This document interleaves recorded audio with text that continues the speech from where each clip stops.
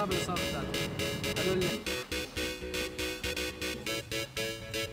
بنهاية مارس أنا تعرفت على العمل الصحفي تعرفت على أساسيات العمل الصحفي دخلت فيه والخوف اللي كان بالبداية آه، بنهايته يعني راح. كتابة أخبار توثيق أحداث آه، فيديوهات مونتاج يعني هي كانت كل الأمور عندي غامضة أنا ما كان يعني عندي أي, أي فكرة عنها. فتت إنسان خام مثل ما بقولوا وطلعت هلأ عندي قواعد أساسيات ومبادئ كثير جديدة بالحياة. يعني جديدة عفوا بالجانب الصحفي.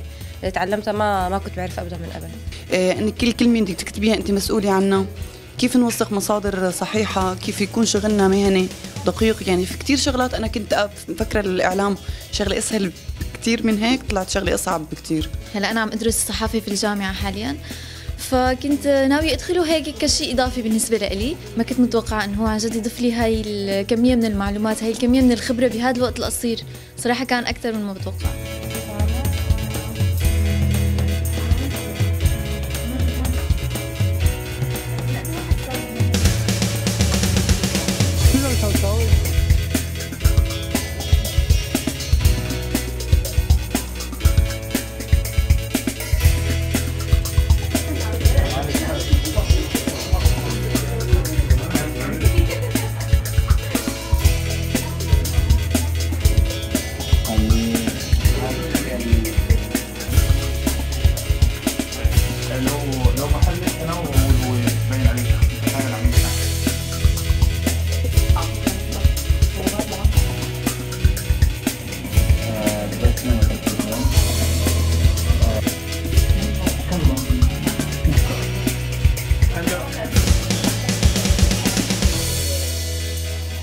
كل دقيقة بنقضيها هون بهالمكان هي دقيقة كتير مهمة.